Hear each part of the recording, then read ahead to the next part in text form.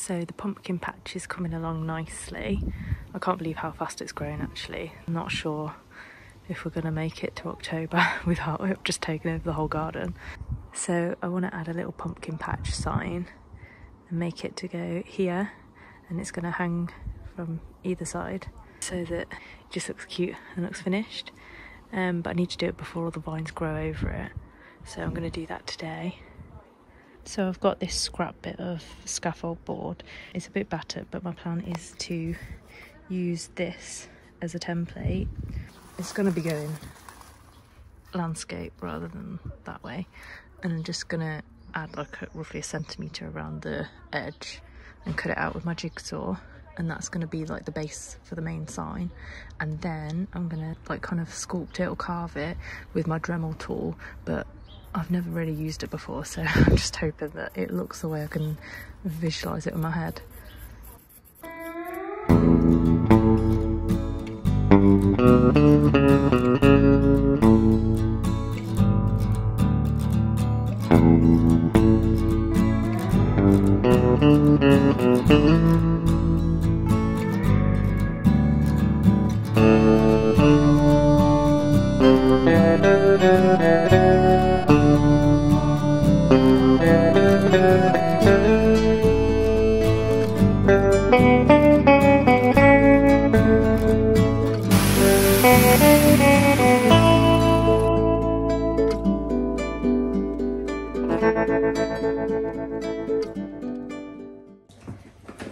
So the next part of this sign making video will be, oh, it's still really dirty. I'm going to use this template that I made.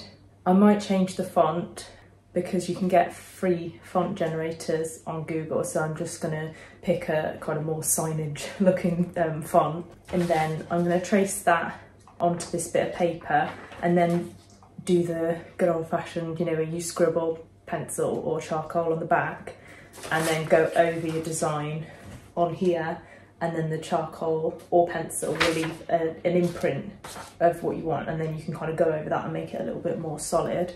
So that's the next step.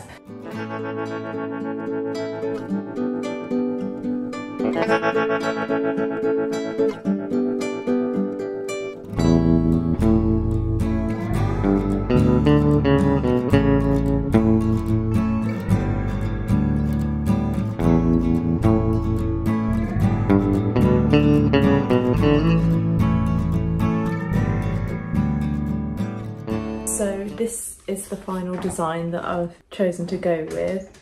Um, I'm really hoping that the font is easy enough to do. I'm thinking I'll kind of do it like I'll leave the main lettering as the protruding bit of wood and then I'm going to actually take away the bits behind and kind of sculpt it that way because I think if you take away from the background then this will look more 3D so I'm hoping that works out for me. Next I'm going to be doing the charcoal on the back and then I'll place it down that way onto the wood and then I'll go over this and it'll imprint my design onto the wood.